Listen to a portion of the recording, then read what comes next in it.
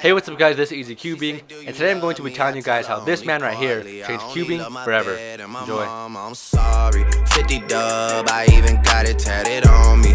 81, they'll bring the crashers to the party. And you know me. Alright guys, so just like my last video, we're going to have to go back in time to 2007 when Rubik's Cubes were the leading speed cube and not even the Dayan Zhanchi was released yet. What we do here is go back, back, back, back, back, back,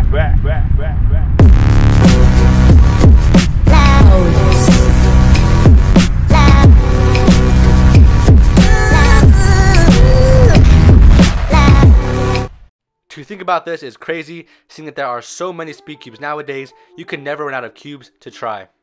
You also have to keep in mind that this record was set on a Rubik's brand cube, so there was no corner cutting, no reverse cuts, and no circular centers. Anyways, let's get into the record. So the record was set by a guy named Thibaut Jacquinot in 2007 in Spain at the competition Spanish Open 2007.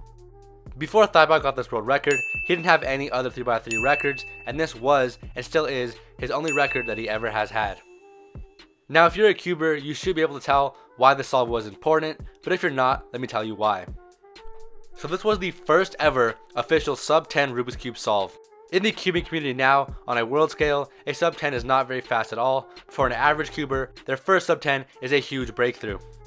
To be able to average under 10 seconds is extremely hard and not very many cubers can do it. You have to know a lot of subsets such as COLL, PLL, and full OLL. COLL is not always required if you are really good at F2L, but it does help a lot of cubers average under 10 seconds. So now with that in mind, let's go back to 2007. Now this solve was over 10 years ago and was a huge breakthrough. After Thibaut got the first sub 10 second solve, the community started getting faster and faster. The record started coming in smoothly, and by 2008, the record was already under 9 seconds. Now the craziest thing about this record is that it wasn't recorded. That's right guys, the first sub 10 second solve was not recorded. He does have some other videos of him solving, so I will show you that.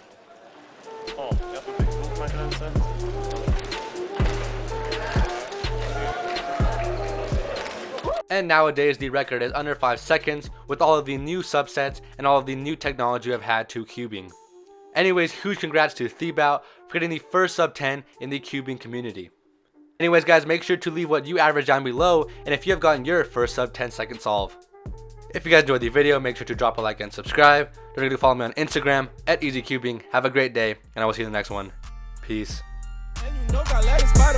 Gelato got me flying in the sky,